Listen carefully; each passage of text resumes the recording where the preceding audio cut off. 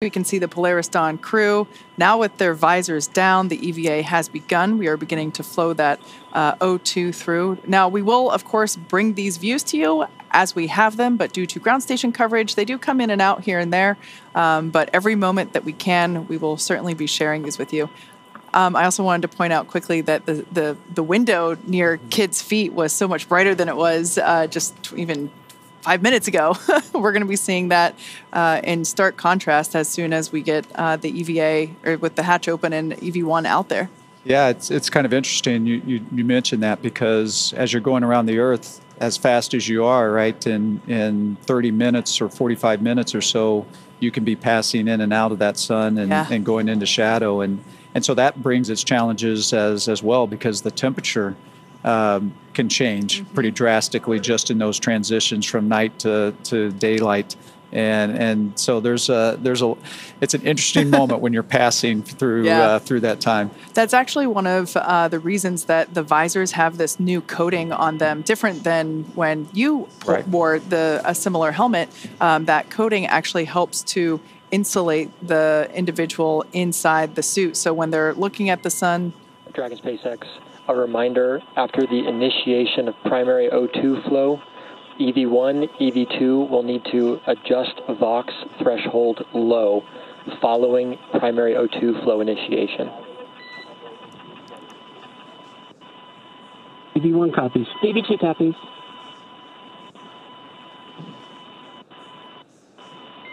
Dragon SpaceX, secondary flow purge complete. Close secondary O2 valves and report ready for suit pressurization. EV1 closed. EV2 closed. Port 1 closed. Port 2 closed. SpaceX Dragon is ready for seat pressurization. Initiating primary O2.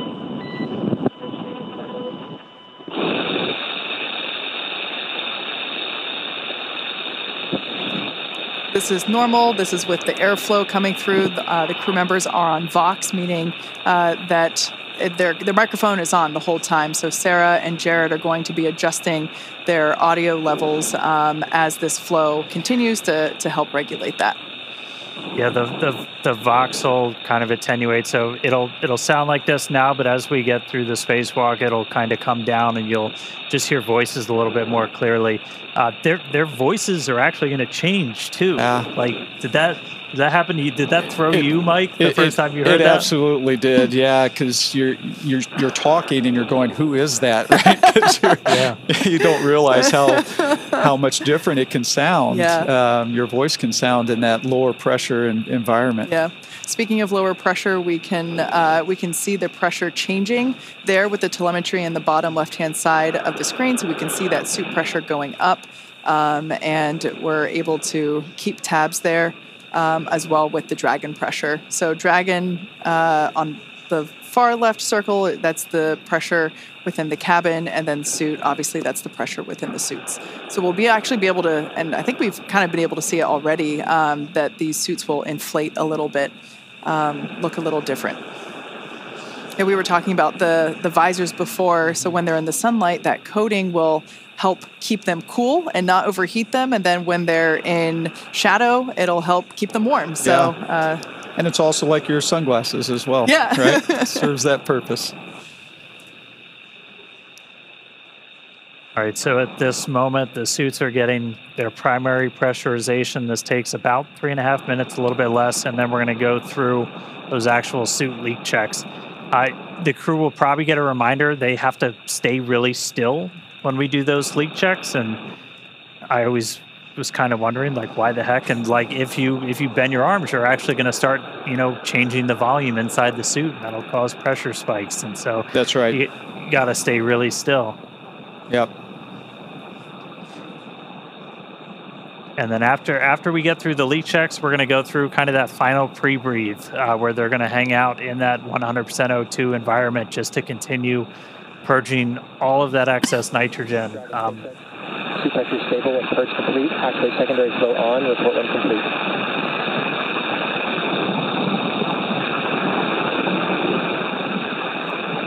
EV1 open. Port 1 open.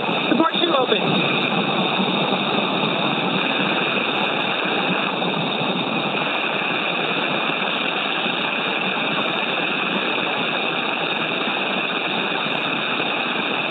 Right there, they they finished the purge and they did a quick uh, reinitiation of that secondary flow check. Response, close secondary flow, and report when complete.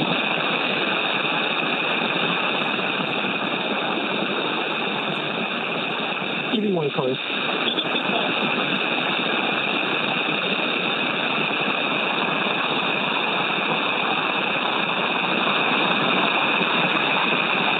Support two closed. Support one, are you closed?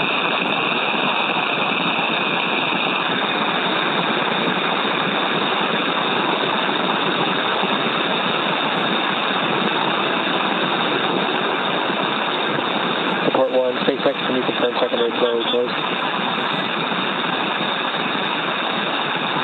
These handles that we see Jared holding on to, these were one of the additions uh, or uh, customizations for this mission that we talked about earlier.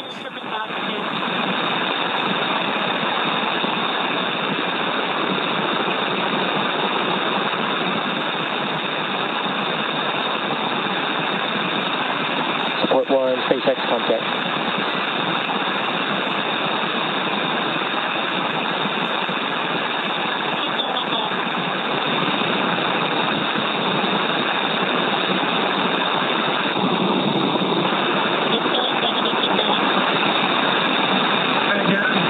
We got you. All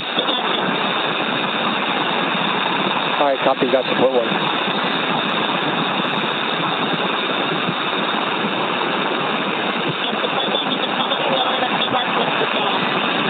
Copy.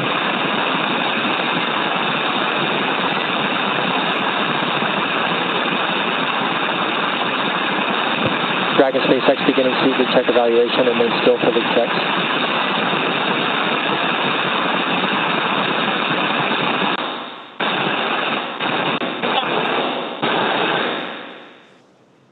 Once again, that background noise is expected. Um, that is the microphones and the flow of air uh, within the suits. So we're trying to stay quiet to, uh, along with you, listen in on what the crew comms uh, are as they go through. Um, we're also uh, going to get views in and out, as we mentioned before, due to uh, ground station coverage. Successful leak checks, continuing suited pre-breathe.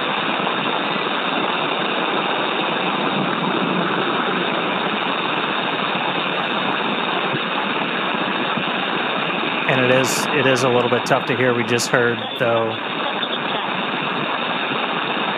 that we got four good leak checks on their suits, and now they're going to be in this final suited What's the deal? pre-breathe.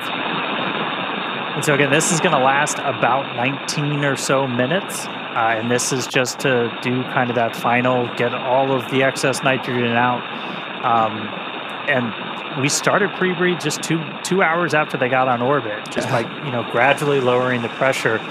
And I mean, pre-breathe that that's something that kind of evolved over time with the space station. Where where were you when you were doing your spacewalks? Yeah, so Like, we were past the kind of the camp out phase of pre-breathe. Um, that's how we used to do it. And it's very similar to what what the Polaris Dawn crew has been doing over the last couple of days. We'd actually have uh, astronauts stay inside the crew lock overnight at a lower pressure, just like they did when they first got on orbit. Now.